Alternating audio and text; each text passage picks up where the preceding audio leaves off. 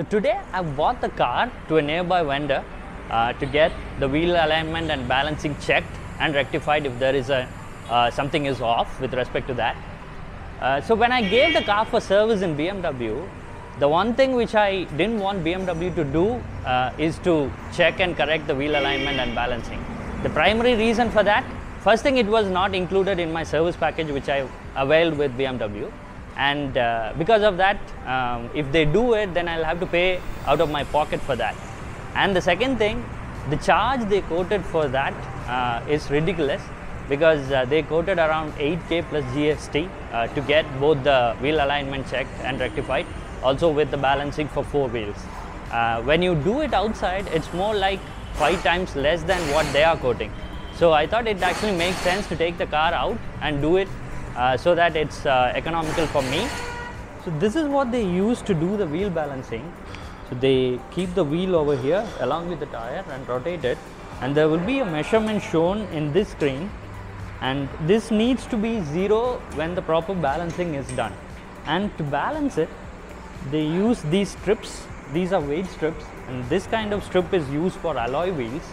And you also have these kind of a weight. uh, Uh, which gets added to the normal wheels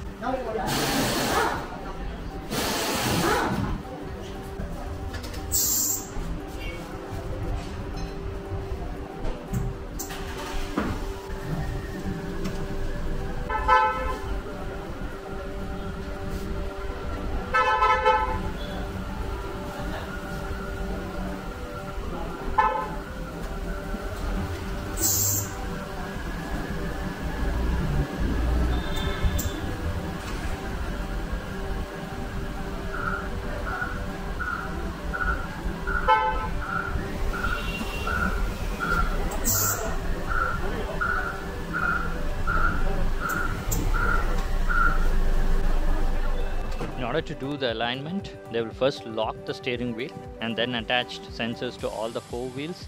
And in the system, they will choose the vehicle model and get all the specs for the wheels. So they've fixed these sensors to all the four wheels and these sensors what it does this will send infrared signals to these sensors and it gets the feedback which is being shown in the monitor over there. So that is how uh, the system knows uh, what is the angle at which the wheels are in. So the whole setup that you see right here is what is being used in order to check and correct the wheel alignment. So the screen here shows uh, the measurements of the angle at which the wheels are right now in. So the technicians will make use of these information to correct the wheel alignment and uh, bring it to uh, the proper alignment angles. Before we move on to the measurements, let's take a look at the parameters with respect to the wheel alignment. There are three parameters, caster, camber and toe. I hope the diagram speaks for itself. Caster is the tilt of the axis that the wheel stays around. Camber is the angle of the tire in relation to the road surface. And toe is a measurement of how much the wheel is turned in or out from a straight ahead position. The measurements you see on the screen are for the rear wheels. The red denotes that those are off a bit.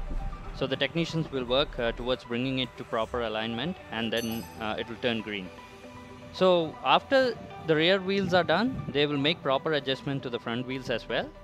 When the balancing and alignment were done, I took the car for a test drive. Since this was the first balancing and alignment I did for the car, I was able to feel the difference when I was driving it. The wheel aligner system which we saw also generate a comparison view of the alignment performed by giving us a before and after view of the three parameters for all the wheels. Coming to the bill, the cost of balancing a single wheel is 200 so in total it comes to 800 and uh, for alignment it is 700 and adding GST it comes to 1770. Now to answer the questions like why it needs to be done, the reason being the bad wheel alignment can cause the parts to wear out faster. You'll be able to spot the impact in tires, wheel bearings, ball joints and wheel suspension parts as well.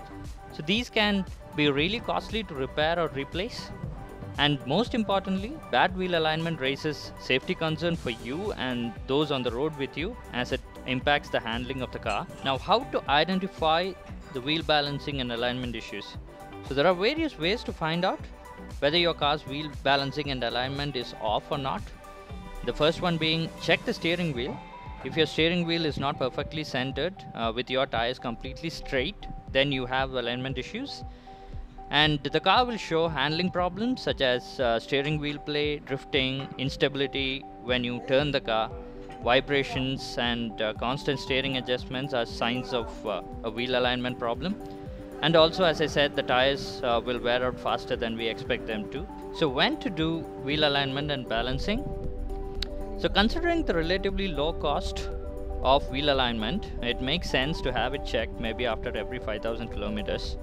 This will help you make the most out of your tires and also increases uh, the life of uh, many parts. Above all, it helps keep you and your family safe. So that's everything I wanted to share about the wheel alignment and balancing. Hope it helps at least some of you.